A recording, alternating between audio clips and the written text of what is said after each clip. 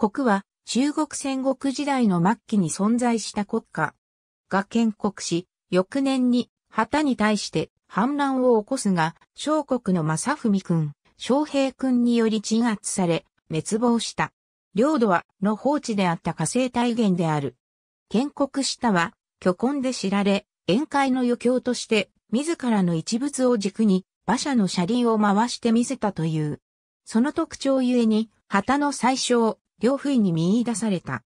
両不意は、旗王政の母の長姫と長年不倫関係を続けていたが、淫乱な大号を老年に差し掛かった彼が満足させることは難しくなり、同時にその関係は非常に危険なことであった。そこで関係を生産したがっていた両不意は自身の身代わりとして彼を高級に送り込んだ。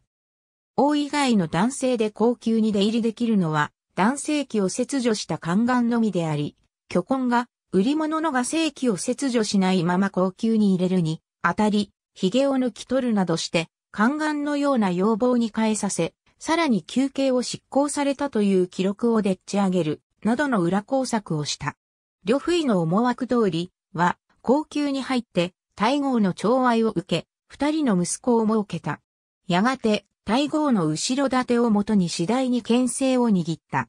紀元前239年、始皇帝の弟の聖が反乱を起こし、鎮圧された。その後に、は、長信公に封じられた。は、火星大元を国と宣言し、独立した。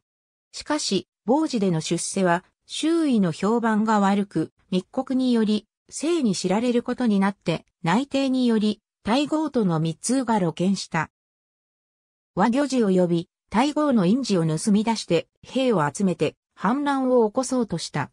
しかし、すでにそれに備えていた生の命を受けた小国である。昌平君と正文君によって、関陽で帰り討ちにあった。